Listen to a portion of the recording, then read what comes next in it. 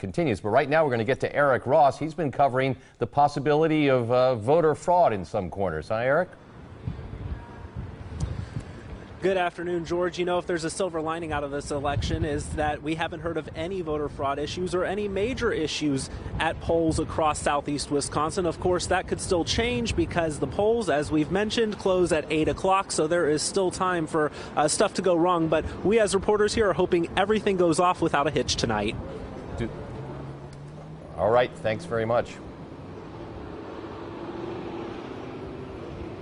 It's been a, a busy but a very calm afternoon for us. Milwaukee Election Commission Executive Director Neil Albrecht says for the most part, voting has been a smooth process. We have some voters that have some pretty profound challenges around either meeting the proof of residence requirement or the photo ID requirements at um, their polling places. The city says they are working with those voters to have them cast a provisional ballot which allows their vote to count as long as they get an ID and receipt from the DMV by Friday.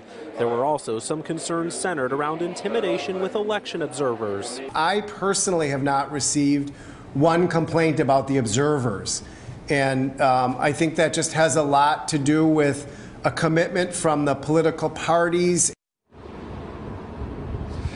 And back live, the only real issue we've heard of at this hour is earlier today in Waukesha County. The county clerk told me three polling locations in the town of Lisbon ran out of ballots earlier this afternoon. However, new ballots were ordered and delivered to those polling locations by 2:30. For now, that is the very latest. We are actually live downtown in Milwaukee at the Zeidler Building, where we see a steady flow of uh, voters turning up. We'll keep an eye on conditions out here as well as all over southeast Wisconsin.